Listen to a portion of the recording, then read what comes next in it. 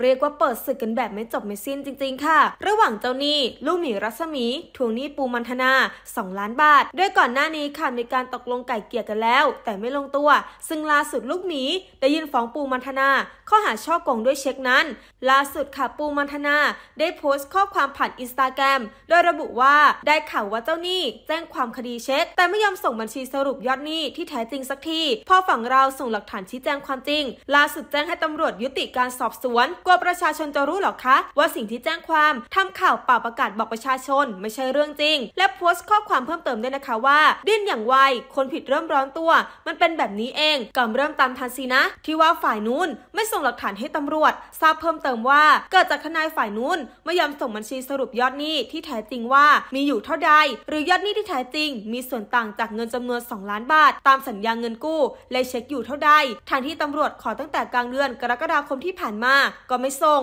สุดท้ายก็มาขอยุติการสอบสวน เพราะอะไรมัวแต่เล่นติ๊กต็อกจะลืมหน้าที่ตัวเองหรือเปล่า หรือว่ากลัวความจริงจะปรากฏ